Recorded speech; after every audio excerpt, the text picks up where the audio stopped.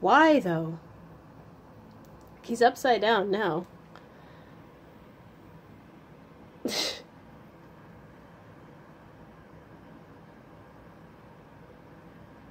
I don't understand.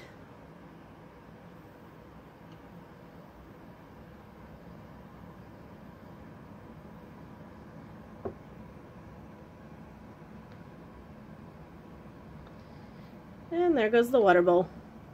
That's going to be a mess.